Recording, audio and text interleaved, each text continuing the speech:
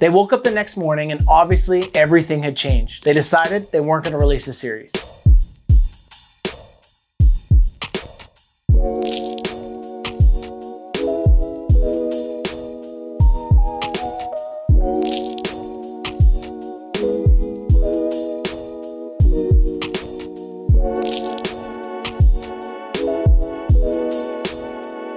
What's up guys, my name is Levi, this is Shredz Shop, connecting you to skateboarding, and today we're doing 14 things you didn't know about Santa Cruz skateboards. We're gonna talk about how they started, some of their most iconic logos, some of their inventions that changed skateboarding, the team, collabs, and so much more. If you guys love these videos, we love making them. The best way to support us is to like, subscribe, and comment. And also head over to Instagram and follow us at Shredz Shop and at Levi Switzer. The first Santa Cruz products ever made were in 1973. So if you're not good at math, that makes it this year the 50th anniversary of Santa Cruz Skateboards, which makes it the oldest continuously run skateboard company on earth. Three friends that are all surf rats in Santa Cruz, California decide to join forces and start building surfboards. Their names are Richard Novak, Jay Shuirman, and Doug Haut. They incorporate the brand and they name it as an acronym for their names, NHS. Their surfboard business was actually way harder than they anticipated, so they decided to make some skateboard decks with some of the wood that they had laying around. Haut would later sell his shares in the company to go over and focus his time on surfboard manufacturing, and that's where Haut Surfboards came about. He was also inducted into the Surfing Hall of Fame. The first ever Santa Cruz skateboard ad ended up in Skateboarder Magazine Volume 2, Issue 3. The first team riders were actually surfers who chose to ride skateboards when they weren't surfing. The skateboard industry was new at this time, and the urethane wheel was brand new. In 1974, Santa Cruz introduces the Road Rider wheels, which is the first wheel with a cage bearing or a precision bearing. It was such a groundbreaking technology at the time that it actually allowed skateboarding as a whole to leap forward in what you could do, what you could ride, what you could skate. Keep in mind that just a few years earlier, people were riding clay wheels with literally loose ball bearings in it. And because of that, a lot of tricks were held back because of the equipment. The Road Rider wheel was a huge success and advancement for the company, which in turn allowed a lot of cash injection back into the brand so they could keep building it. In fact, just one year later in 1975, they had sold over a million sets of Road Rider wheels. When it comes to skateboard logos, there is none more iconic than the Santa Cruz logo. In the early days of skateboarding, brands didn't actually even have logos. They just had their name written on the bottom of a board. And Santa Cruz started with a typeface, which eventually would get an overhaul thanks to Jim Phillips. He took that typeface and he made the iconic red dot logo. He designed this with Jay Shuirman, and he would also go on to design the famous Screaming Hand logo. It was a big step forward as far as skateboard graphics at the time, because it featured bright colors and bold lines. And so it's safe to say that Santa Cruz would not be the brand that it is today without the iconic artwork of Jim Phillips. Some of the famous graphics that he's done over the years include the Santa Cruz logo, the Road Rider logo, the Indy logo, Steve Olson checkerboard, the Rob Roskopp series, Grosso Toy Box, Jason Jessee Poseidon, the Salba Tiger, some of the Natas SMA Panthers, as well as boards for Jim T and Christian Hosoi. He was also inducted into the Skateboarding Hall of Fame in 2017. Sadly, in 1979, Jay Shuirman passed away, so he didn't get to see the brand and the movement that Santa Cruz is today. The other thing that made Santa Cruz stick out amongst the rest is the team that they created. In the 1970s, they had Jay Hudson, who was the number one slalom rider in the world at the time, and he was representing the brand. As skateboarding transitioned into pool riding, they created an all-star cast of team riders. People like Steve Olson, Duane Peters, Salba and Malba, Rob Roskopp, Jason Jessee, Christian Hosoi, and Jeff Grosso.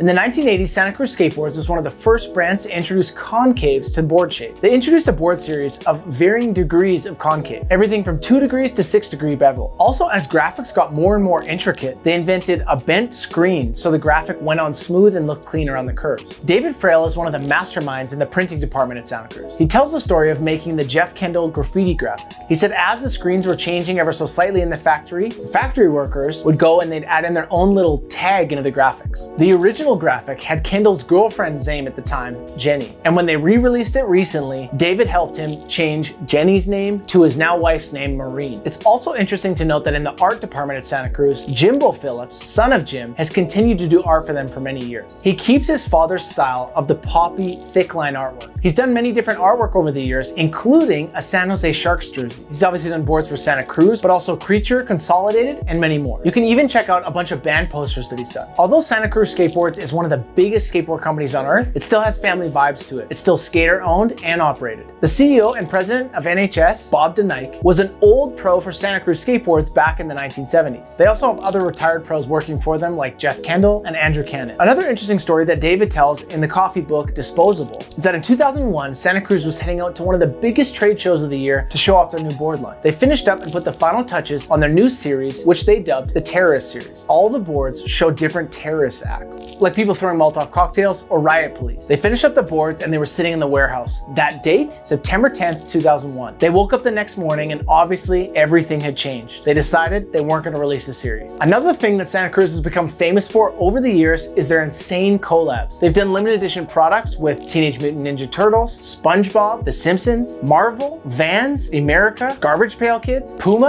and even Star Wars. A lot of these have become collectibles now and they're worth a lot of money on eBay. The Star Wars boards came in an action figure packaging box. They also had another Star Wars series that were layered and laser cut all in these different crazy ways and they retailed at $500. So their resale, insane. They also recently did an art show called the Screaming Hand Art Show, where they did a bunch of different artists' takes on the Screaming Hand logo. They had people like Natas, John Lucero, Steve Caballero, Steve Olson, Ben Horton, Mouse, Sean Cliver, Andy Jenkins, Mark Gonzalez, and many more. Over the years, Santa Cruz has also made some of the most iconic skateboard videos. Videos like Streets on Fire, Speed Freaks, Wheels of Fire, Out There, A Reason for Living, A Right to Exist, and many more. They've also continued on the tradition of R&D, most recently releasing Powerply and their their carbon fiber VX boards. They also do more than skateboards. They make surfboards, snowboards, and they have an offshoot bike company. And they have kept up the tradition of having one of the best teams in skateboarding. They have legends on the team like Eric Dressen, Steve Alba, Tom Knox, and they're mixed with some of today's best skaters. People like Eric Winkowski, Jake Wooten, Fabiana Delfino, Jeremy Nibs, Kevin Braun, Tom Asta, Blake Johnson, Justin Sommer, Maurio McCoy, and many more. Happy birthday and congrats on 50 years of Santa Cruz. What's your favorite team rider and what's your favorite board that they've done over the years? Let us know below. Guys, I'm Levi, this is Shredz Shop connecting you to skateboarding, and we just watched 14 things you didn't know about Santa Cruz skateboards. If you consider yourself a smart person, don't be dumb. Stay out of the malls, support your local skate shop. They're the ones bringing the culture and making skateboarding happen. Stay tuned for comment of the week.